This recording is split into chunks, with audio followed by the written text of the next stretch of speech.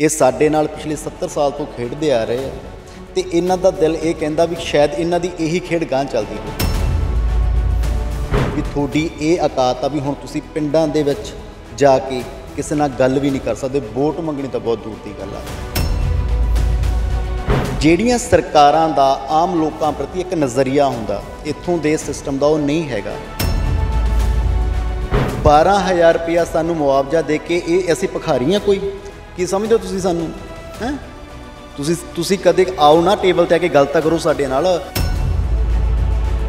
ਇਹਨਾਂ ਨੇ ਕਿਸੇ ਨੇ ਆਪਦੇ ਪ- ਪਿਓ ਦੇ ਖਜ਼ਾਨੇ ਚੋਂ ਨਹੀਂ ਸਾਨੂੰ ਦੇਣਾਗਾ। ਸਾਡੇ ਟੈਕਸ ਦਾ ਪੈਸਾ ਟੈਕਸ ਘੁੰਮ ਕੇ ਲੋਕਾਂ ਤੱਕ ਆਉਂਦਾ। ਪੰਜਾਬ ਦੇ ਲੋਕਾਂ ਨਾਲ ਖੇਡਣਾ ਬੰਦ ਕਰੋ। ਤੁਹਾਡੇ ਦੋਨਾਂ ਦੇ ਵਿੱਚੋਂ ਇੱਕ ਚੋਰ ਸੀ, ਜਾਂ ਕੈਪਟਨ ਅਮਰਿੰਦਰ ਤੇ ਜਾਂ ਤੂੰ। ਇਹਨਾਂ ਸਰਕਾਰਾਂ ਨੂੰ ਸਾਡੀ ਕੋਈ ਫਿਕਰ ਨਹੀਂ ਜੀ। ਇਹਨਾਂ ਸਰਕਾਰਾਂ ਨੂੰ, ਇਹਨਾਂ ਲੀਡਰਾਂ ਨੂੰ ਸਿਰਫ ਇੱਕੋ ਹੀ ਫਿਕਰ ਆ ਕਿ ਇਹਨਾਂ ਨੇ ਆਪਦੇ ਪੁੱਤਾਂ ਨੂੰ, ਆਪਦੇ ਪੋਤਿਆਂ ਨੂੰ ਦੁਬਾਰਾ ਇਸ ਪੰਜਾਬ ਦੇ ਵਿੱਚ ਲੀਡਰ ਕਿਵੇਂ ਬਣਾਉਣਾ। ਰਾਤ ਦਾ ਸਮਾਂ ਬਠਿੰਡਾ ਦੇ ਮਿੰਨੀ ਸਕੱਤਰੇ ਦੇ ਬਾਹਰ ਦਾ ਤੁਹਾਨੂੰ ਅਸੀਂ ਇਹ ਵਿਊ ਦਿਖਾ ਰਹੇ ਹਾਂ, ਨਜ਼ਾਰਾ ਦਿਖਾ ਰਹੇ ਹਾਂ ਕਿ ਰਾਤ ਦੇ ਸਮੇਂ ਵੀ ਜਿਹੜੇ ਸਾਡੇ ਕਿਸਾਨ ਵੀਰ ਨੇ, ਉਹ ਉਹਨਾਂ ਨੇ ਝੰਡੇ ਚੱਕੇ ਹੋਏ ਨੇ ਕਿਸਾਨੀ ਦੇ। ਹਜੇ ਵੀ ਇਹਨਾਂ ਨੂੰ ਆਸ ਹੋਣੀ ਹੈ ਕਿਤੇ ਨਾ ਕਿਤੇ ਕਿ ਸ਼ਾਇਦ ਸਾਡੇ ਕੋਲੇ ਕੋਈ ਸਰਕਾਰ ਦਾ ਨੁਮਾਇੰਦਾ ਆਊਗਾ ਤੇ ਸ਼ਾਇਦ ਸਾਡੀ ਮੰਗ ਹੈ ਜਿਹੜੀ ਉਹ ਮੰਨੀ ਜਾਊਗੀ ਤੇ ਅਸੀਂ ਆਪਣੇ ਘਰਾਂ ਨੂੰ ਜਾਵਾਂਗੇ। ਇਕੱਠੇ ਹੋਏ ਹੋਏ ਨੇ ਗੱਲਬਾਤ ਕਰਨ ਦੇ ਲਈ ਜੁੜੇ ਨੇ ਗੱਲਬਾਤ ਕਰ ਲੈਂਦੇ ਆ ਵੀਰ ਜੀ ਦੂਸਰਾ ਦਿਨ ਅੱਜ ਤੁਹਾਡੇ ਜਿਹੜਾ ਪ੍ਰੋਟੈਸਟ ਹੈ ਜੀ। ਪਰ ਤੁਹਾਡੇ ਕੋਲ ਕੋਈ ਆਇਆ ਨਹੀਂ ਹਜੇ ਤੱਕ। ਕਿਸ ਤਰ੍ਹਾਂ ਦੇਖਦੇ ਹੋ? ਜਿਵੇਂ ਦਿੱਲੀ ਦੀ ਤਸਵੀਰ ਸਰਕਾਰਾਂ ਨੇ ਬਣਾਤੀ ਉਹ ਜੋ ਉਹੋ ਜੀ ਤਸਵੀਰ ਬਠਿੰਡੇ ਵਿਖੇ ਬਣੀ ਹੋਈ ਹੈ। ਸਭ ਤੋਂ ਪਹਿਲਾਂ ਤਾਂ ਅਸੀਂ ਜਿਹੜਾ ਤੁਹਾਡਾ ਚੈਨਲ ਪ੍ਰੋ ਪੰਜਾਬ ਅਸੀਂ ਇਹਦਾ ਧੰਨਵਾਦ ਕਰਦੇ ਹਾਂ ਜੀ। ਤੁਸੀਂ ਰਾਤ ਦੇ 10 ਵਜੇ ਹੋਏ ਆ, ਤੁਸੀਂ ਸਾਡੇ ਹੱਕ ਲਈ, ਪੰਜਾਬ ਦੇ ਹੱਕ ਲਈ ਇੱਥੇ ਪਹੁੰਚੇ ਹੋ। ਸੋ ਦੂਜੀ ਗੱਲ ਇਹ ਆ ਵੀ ਤੁਹਾਡਾ ਸਵਾਲ ਇਹ ਆ ਵੀ ਜਿਹੜੀਆਂ ਇਹ ਸਰਕਾਰਾਂ ਨੇ, ਇਹਨਾਂ ਨੂੰ ਕੋਈ ਸਾਡੀ ਫਿਕਰ ਹੈ ਜਾਂ ਨਹੀਂ? ਇਸ ਸਵਾਲ ਚੋਂ ਹੀ ਗੱਲ ਨਿਕਲਦੀ ਆ। ਇਹਨਾਂ ਸਰਕਾਰਾਂ ਨੂੰ ਸਾਡੀ ਕੋਈ ਫਿਕਰ ਨਹੀਂ ਜੀ।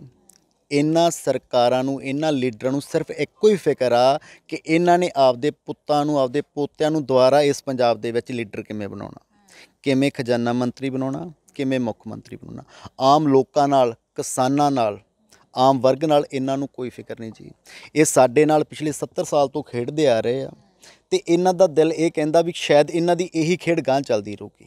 ਪਰ ਪੰਜਾਬ ਦੇ ਲੋਕ ਵਧਾਈ ਦੇ ਪਾਤਰ ਨੇ, ਜਿਨ੍ਹਾਂ ਨੇ ਜਿਨ੍ਹਾਂ ਨੇ ਇਹ ਸਰਕਾਰਾਂ ਨੂੰ ਦੱਸਤਾ ਵੀ ਤੁਹਾਡੀ ਇਹ ਔਕਾਤ ਆ ਵੀ ਹੁਣ ਤੁਸੀਂ ਪਿੰਡਾਂ ਦੇ ਵਿੱਚ ਜਾ ਕੇ ਕਿਸੇ ਨਾਲ ਗੱਲ ਵੀ ਨਹੀਂ ਕਰ ਸਕਦੇ। ਵੋਟ ਮੰਗਣੀ ਤਾਂ ਬਹੁਤ ਦੂਰ ਦੀ ਗੱਲ ਆ। ਕੱਲ ਨਵਜੋਤ ਸਿੱਧੂ ਦਾ ਇੱਕ ਬਿਆਨ ਸੀ ਵੀ ਰਾਜਨੀਤੀ ਜੁਰਤ ਦੀ ਆ, ਗੋਡੇ ਟੇਕਣ ਦੀ ਨਹੀਂ।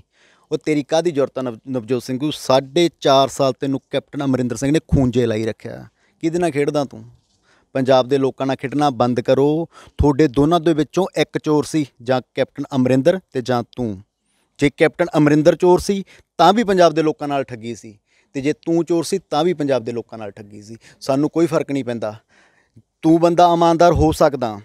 ਤੇਰਾ ਅਸੀਂ ਇਸ ਗੱਲੋਂ ਤੇਰਾ ਸਤਿਕਾਰ ਕਰਦੇ ਆ ਤੂੰ ਨਨਕਾਣਾ ਸਾਹਿਬ ਦਾ ਰਾਹ ਖਲਾਇਆ। ਤੇਰਾ ਅਸੀਂ ਸਤਿਕਾਰ ਕਰਦੇ ਆ ਪਰ ਗਰਾਊਂਡ ਲੈਵਲ ਤੇ ਆ ਕੇ ਦੇਖ ਦੇਖ ਇੱਥੇ ਪੰਜਾਬ ਦੇ ਵਿੱਚ ਕੀ ਹਾਲਾਤ ਨੇ। ਜੀ। ਚੰਨੀ ਸਾਹਿਬ ਖੇਤਾਂ ਦੇ ਵਿੱਚ ਆਉਂਦੇ ਆ ਕਿਸਾਨਾਂ ਦੇ, ਉੱਥੇ ਆ ਕੇ ਫਸਲ ਦੇਖਦੇ ਆ ਔਰ ਇਹ ਜਾਇਜ਼ਾ ਲੈਂਦੇ ਆ ਕਿ ਫਸਲ ਖਰਾਬ ਹੋਈ ਹੈ ਔਰ ਇਹ ਵੀ ਆਖਿਆ ਜਾ ਰਿਹਾ ਹੈ ਵੱਡੇ ਵੱਡੇ ਹੋਰਡਿੰਗਸ ਲਗਾ ਕੇ ਕਿ ਜਿਹੜੀ ਮੁਆਵਜ਼ਾ ਉਹ ਅਸੀਂ ਕਿਸਾਨ ਨੂੰ ਦੇਤਾ 12000 ਰੁਪਇਆ ਜਿਹੜੀ ਹੈ ਰਕਮ ਮਿੱਥੀ ਹੈ ਸਰਕਾਰ ਨੇ, ਕੀ ਤੁਹਾਨੂੰ ਬਹੁਤੀ ਹੈ ਇਹ?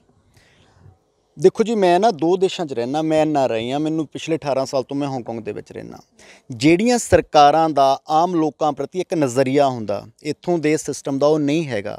12000 ਰੁਪਇਆ ਸਾਨੂੰ ਮੁਆਵਜ਼ਾ ਦੇ ਕੇ ਇਹ ਅਸੀਂ ਭਖਾਰੀਆਂ ਕੋਈ। 70 70 60 60 ਹਜ਼ਾਰ ਰੁਪਇਆ ਕਿੱਲੇ ਦਾ ਮਾਮਲਾ ਗਾ, ਤੇ 6 ਮਹੀਨਿਆਂ ਦਾ 30 ਤੋਂ 35000 ਰੁਪਇਆ ਮਾਮਲਾ ਬਣਦਾ। ਕੀ ਸਮਝਦੇ ਹੋ ਤੁਸੀਂ ਸਾਨੂੰ? ਹੈ? ਤੁਸੀਂ ਤੁਸੀਂ ਕਦੇ ਆਓ ਨਾ ਟੇਬਲ ਤੇ ਆ ਕੇ ਗੱਲ ਤਾਂ ਕਰੋ ਸਾਡੇ ਨਾਲ। ਤੁਸੀਂ 12000 ਰੁਪਇਆ 12000 ਰੁਪਇਆ ਦੇ ਕੇ ਤੁਸੀਂ ਸਾਨੂੰ, ਅਸ- ਕੋਈ ਰਿਓੜੀਆਂ ਵੰਡਦੇ ਹੋ ਤੁਸੀਂ ਵੀ, ਅਸੀਂ ਖੁਸ਼ ਹੋ ਜਾਾਂਗੇ। ਜੁਰਤ ਨਾ ਲੈਣਾ, ਜਿਹੜਾ ਨਵਜੋਤ ਸਿੰਘ ਤੇਰਾ ਸ਼ਬਦ ਆ ਨਾ ਵੀ ਜੁਰਤ ਦੀ ਰਾਜਨੀਤੀ ਆ, ਇਹ ਜੁਰਤ ਦੀ ਜਥੇਬੰਦੀ ਆ, ਜੁਰਤ ਨਾ ਲੈਣਾ। 60000 ਤੋਂ ਕੋਈ ਪੈਸਾ ਘੱਟ ਨਹੀਂ ਲੈਣਾ ਜੀ, ਸਾਡਾ ਰਾਈਟ ਆਓ ਅਸੀਂ ਟੈਕਸ ਦਿੰਨੇ ਆ। ਇਹਨਾਂ ਨੇ ਕਿਸੇ ਨੇ ਆਪਦੇ ਪ- ਪਿਓ ਦੇ ਖਜ਼ਾਨੇ ਚੋਂ ਨਹੀਂ ਸਾਨੂੰ ਦੇਣਾਗਾ।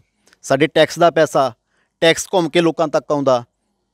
ਇਹ ਟੈਕਸ ਦਾ ਪੈਸਾ ਇਹ ਲੋਕਾਂ ਦੇ ਜੇ ਕਿਤੇ ਕਿਤੇ ਮਾਰ ਪੈਂਦੀ ਹੈ ਤੇ ਟੈਕਸ ਦੇ ਪੈਸੇ ਦੇ ਵਿੱਚ ਉਹ ਮੁਆਵਜ਼ਾ ਬਣਦਾ ਜੀ। ਇਹ ਇਹ ਲਵਾਂਗੇ ਤੇ ਡਾਂਗ ਨਾਲ ਲਵਾਂਗੇ। ਜੀ। ਬਾਪੂ ਜੀ ਗਾਂ ਕੀ ਨੀਤੀ ਹੈ ਥੋੜੀ ਰਣਨੀਤੀ? ਅੱਛਾ ਇਹ ਗੱਲ ਕਰਨਗੇ। ਗਾਂ ਕੀ ਰਣਨੀਤੀ ਹੈ ਵੀਰੇ ਆਪਣੀ ਜੇ? ਕਿਉਂਕਿ ਦੂਜਾ ਦਿਨ ਹੋ ਗਿਆ ਸੰਘਰਸ਼ ਚੱਲਦਿਆਂ ਨੂੰ। ਅੱਗੇ ਦਾ ਤੁਸੀਂ ਕੀ ਸੋਚਿਆ ਵੀ ਜੇ ਨਹੀਂ ਤੁਹਾਡੇ ਕੋਲੇ ਕੋਈ ਆਉਂਦਾ ਤਾਂ ਕੀ ਅੱਗੇ ਰਹੂਗਾ ਸਟੈਪ ਇਹ ਸਾਡਾ ਸੰਘਰਸ਼ ਹੀ ਡੇ ਬਾਈ ਡੇ ਤੋਂ ਵੱਡਾ ਹੋਊਗਾ। ਕਿਉਂਕਿ ਪੰਜਾਬ ਦੇ ਲੋਕ ਅੱਜ ਇੰਨਾ ਜਾਗ ਚੁੱਕੇ ਨੇ, ਉਹਨਾਂ ਨੇ ਹੁਣ ਕੋਈ ਬਹੁਤਾ ਟਾਈਮ ਇਹ ਸਬਰ ਨਹੀਂ ਕਰਨਾ।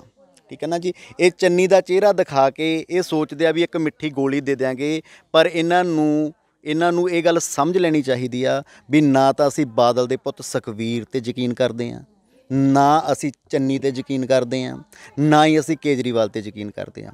ਅਸੀਂ ਯਕੀਨ ਕਰਦੇ ਹਾਂ ਤਾਂ ਅਸੀਂ ਇਸ ਕਿਸਾਨੀ ਦੇ ਝੰਡੇ ਤੇ ਯਕੀਨ ਕਰਦੇ ਹਾਂ। ਅਸੀਂ ਜੋਗਿੰਦਰ ਸਿੰਘ ਉਗਰਾਹਾਂ ਦੀ ਸੋਚ ਤੇ ਯਕੀਨ ਕਰਦੇ ਹਾਂ, ਜੋ ਸਾਨੂੰ ਸਾਡੇ ਲੀਡਰ, ਸਾਡੇ ਆਗੂ, ਸੰਯੁਕਤ ਮੋਰਚਾ ਸਾਨੂੰ ਜਿਹੜਾ ਰਾਹ ਦੇਊਗਾ, ਜਿਹੜੀ ਜਿਹੜੀ ਲੜਾਈ ਲੜਨ ਦੇ ਲਈ ਕਹੂਗਾ, ਅਸੀਂ ਆਪਦੀਆਂ ਜਾਨਾਂ ਵਾਰਨ ਦੇ ਲਈ ਵੀ ਤਿਆਰ ਹਾਂ ਜੀ। ਬਿਲਕੁਲ ਤਾਂ ਤੁਸੀਂ ਦੇਖ ਸਕਦੇ ਹੋ, ਜਿੰਦ ਜਾਨ ਜਿਹੜੀ ਹੈ ਕਿਸਾਨ ਉਹਨਾਂ ਨੇ ਲਾਈ ਹੋਈ ਹੈ, ਭਾਵੇਂ ਦਿੱਲੀ ਦੀ ਗੱਲ ਕਰੀਏ ਜਾਂ ਫਿਰ ਬਠਿੰਡੇ ਜਿਹੜਾ ਪ੍ਰੋਟੈਸਟ ਚੱਲ ਰਿਹਾ, ਉਹਦੀ ਗੱਲ ਕਰ ਲਈਏ ਤਾਂ ਕਿਸਾਨ ਇਕਜੁੱਟ ਨੇ, ਡਟੇ ਹੋਏ ਨੇ। ਇੱਕ ਪਾਸੇ ਕਿਸਾਨਾਂ ਦੀ ਪ੍ਰੈਸਟੀਜ ਦੀ ਗੱਲ ਹੈ, ਦੂਜੇ ਪਾਸੇ ਸਰਕਾਰ ਦੀ ਪ੍ਰੈਸਟੀਜ ਦੀ ਗੱਲ ਹੈ। ਤਿੰਨ ਕਾਲੇ ਕਾਨੂੰਨਾਂ ਦੀ ਗੱਲ ਕਰ ਲਈਏ ਤਾਂ ਉਹਨਾਂ ਦੇ ਸੰਘਰਸ਼ ਵਾਸਤੇ ਵੀ ਉਹਨਾਂ ਪਿੱਛੇ ਸੰਘਰਸ਼ ਕਰ ਰਹੇ ਨੇ ਪਿਛਲੇ 1.5 ਸਾਲਾਂ ਤੋਂ ਦਿੱਲੀ ਵਿਖੇ। ਤਾਂ ਜਿਹੜੀ ਤਸਵੀਰ ਹੈ ਇਹ ਇਹ ਕੋਈ ਦਿੱਲੀ ਦੀ ਤਸਵੀਰ ਨਹੀਂ ਹੈ, ਬਠਿੰਡੇ ਦੀ ਤਸਵੀਰ ਹੈ। ਇੱਥੇ ਵੀ ਦੋ ਦਿਨਾਂ ਤੋਂ ਲਗਾਤਾਰ ਕਿਸਾਨ ਯੂਨੀਅਨ ਏਕਤਾ ਉਗਰਾਹਾਂ ਦੇ ਜਿਹੜੇ ਜਥੇਬੰਦੀਆਂ ਉਹਨਾਂ ਵੱਲੋਂ ਇੱਕ ਮੈਸਿਵ ਗੈਦਰਿੰਗ ਕੀਤੀ ਗਈ ਹੈ, ਵੱਡਾ ਇਕੱਠ ਕੀਤਾ ਗਿਆ ਹੈ ਤੇ ਜਿਹੜਾ ਧਰਨਾ ਇੱਥੇ ਚੱਲ ਰਿਹਾ ਹੈ। ਬਠਿੰਡਾ ਤੋਂ ਪ੍ਰੋ ਪੰਜਾਬ ਟੀਵੀ ਦੇ ਲਈ ਆਕਾਂक्षा ਸਕਸੈਨਾ।